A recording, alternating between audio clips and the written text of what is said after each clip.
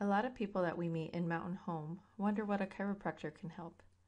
Our team at Long Chiropractic Clinic hopes that this video will help you to better understand how chiropractic works.